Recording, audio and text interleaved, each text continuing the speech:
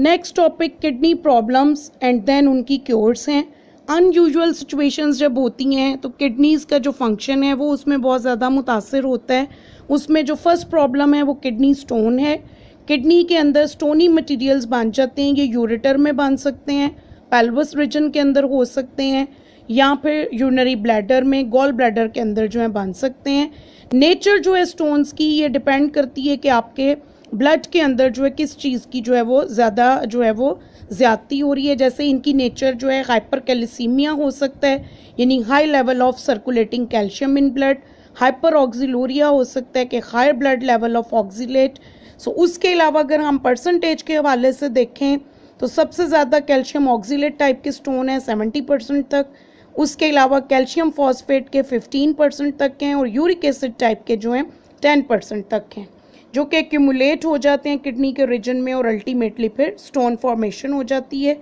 इसकी जो क्योरिंग या इसकी जो ट्रीटमेंट है it is by the process which is called lithotripsy lithotripsy जो है किडनी स्टोन्स की रिमूवल है।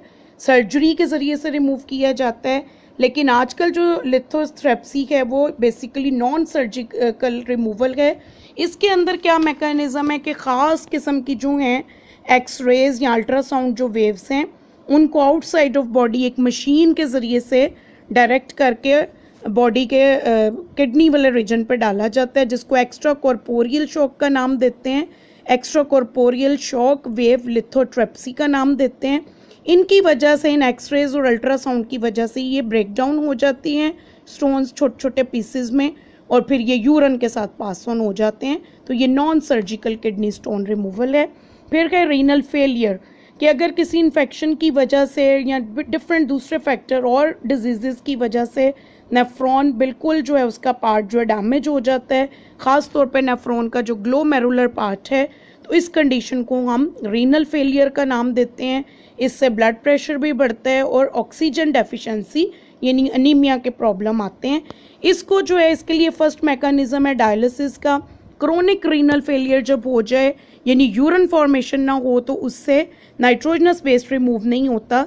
तो इसमें जो है किडनी से आर्टिफिशियल तरीके से जो है नाइट्रोजनस वेस्ट को रिमूव किया जाता है। This treatment is called dialysis two types हैं इसकी haemodialysis and peritoneal dialysis haemodialysis में, जिसको क्लीनिंग ऑफ़ ब्लड का नाम देते हैं, एक आर्टिफिशियल मशीन यूज़ की जाती है, जिसके अंदर डायलाइज़र जो है, मौजूद होता है, जिसको आर्टिफिशियल किडनी का नाम देते हैं।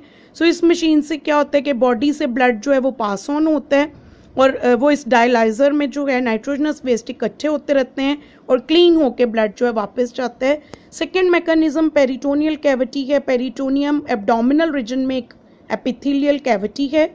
इसके अंदर बाहर से जो है वो डायलाइजिंग फ्लूड भर दिया जाता है और नाइट्रोजनस वेस्ट जो है इसके अंदर जमा होते जाते हैं और बाद में जो है वो फिर क्लीनिंग होकर ब्लड वापस जो है वो बॉडी को रिटर्न होता है और इस तरह से नाइट्रोजनस वेस्ट जो है वो रिमूव होते हैं।